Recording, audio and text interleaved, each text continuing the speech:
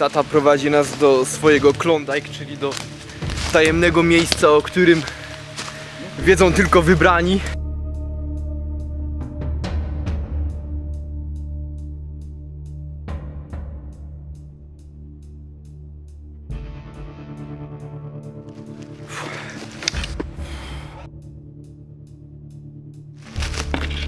Zbliżamy się do celu. Blisko to było jakieś pół godziny temu.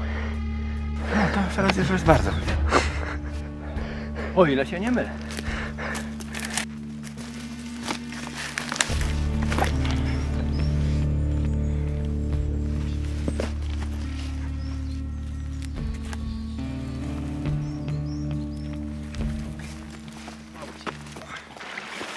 Może zechcesz nam pan wyjaśnić, do czego służą poszczególne elementy? Przecież pan wiesz. A nie, kochany.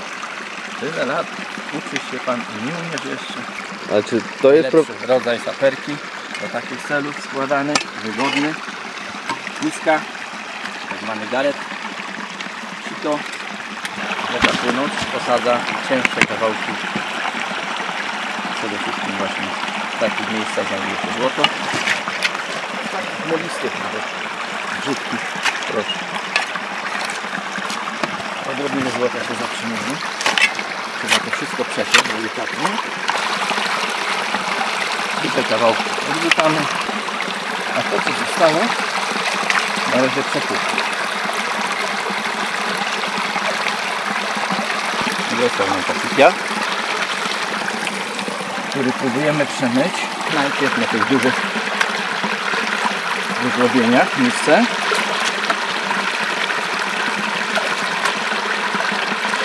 Potem przynosimy się na tą stronę mniejszą, tą drobniejszą takie wyzłobienia i tłuczemy.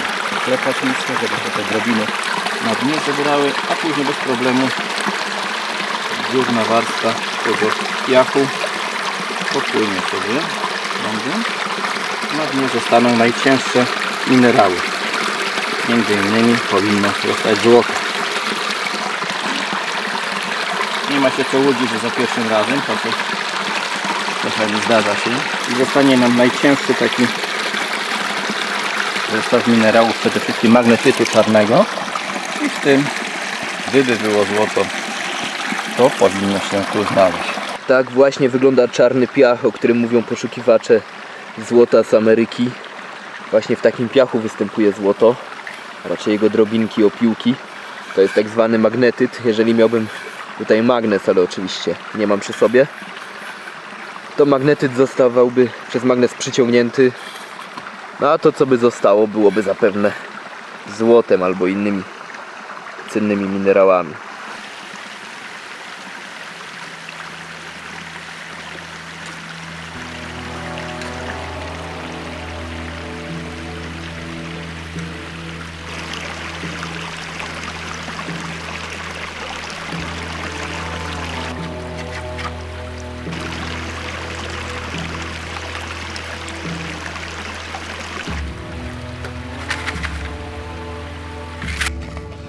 To jest nasz wstępnie wypłukany urobek.